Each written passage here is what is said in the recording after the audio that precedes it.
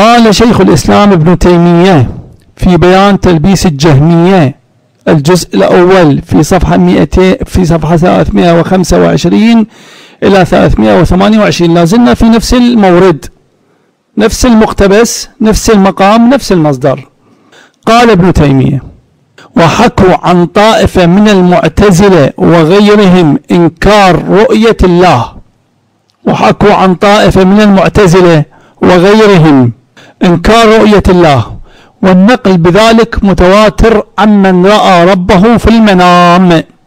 ولكن لعلهم قالوا لا يجوز أن يعتقد أنه رأى ربه في المنام فيكونون قد جعلوا مثل هذا من أضغاث الأحلام.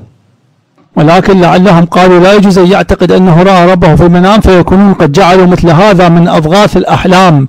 يعني الذي يرى ربه في المنام اعتبروا, اعتبروا هذا من أضغاث الأحلام. من؟ المعتزلة. ومن؟ طبعا لم يذكر الشيعة هنا. أيضا الشيعة الإمامية الشيعة عموم الشيعة أيضا آه، يقولون بهذا القول بعدم إمكان رؤية الله سبحانه وتعالى. لا في الواقع لا في المنام لا في اليقظة لا في المعراج لا في الآخرة لا في الدنيا. لكن هو يحاول أن لا يأتي بالشيعة هنا ولا يناقش الشيعة هنا ولا يجعل الشيعة كمحور للنقاش الرئيس هنا. يذكر في مقامات هنا وهناك يقفز وينط هنا وينط هناك يذكر الشيعة. يذكر أتباع أهل البيت عليهم الصلاة والسلام.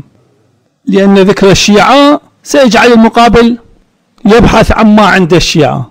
وعندما يبحث عما عند الشيعة يجد أقوال أهل البيت يجد أقوال أمير المؤمنين سلام الله عليه يجد أئمة التوحيد قادة التوحيد رموز التوحيد أصل التوحيد. يجد أهل البيت يجد أمير المؤمنين يجد إمام الموحدين يجد النبي صلى الله عليه وآله وسلم. قد تجسد توحيده في أهل البيت سلام الله عليهم في أئمة أهل البيت سلام الله عليهم.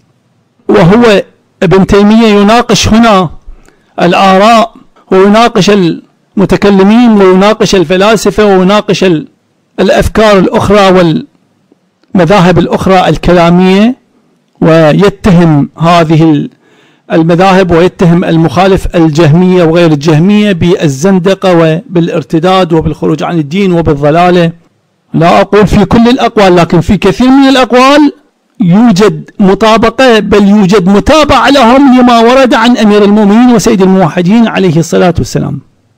من هنا تعرف كيف عندما يكون المحور الرئيس عند ابن تيمية هو قضية التكفير قضية التوحيد الجسمي. فماذا يفعل؟ عليه أن ينفي ذكر أهل البيت حتى ينتفي معهم أصل التوحيد وحقيقة التوحيد وأساس التوحيد وأصول التوحيد. ويضع الخطة باء الخطة الاحتياط من يصل إلى أهل البيت عنده الخط الآخر وهو تخريج علي من الصحبة من الصحابة من الخلافة من الصحابة من الإيمان من الإسلام. إذا عنده عدة خطوط دفاعية وعدة خطط للهجوم.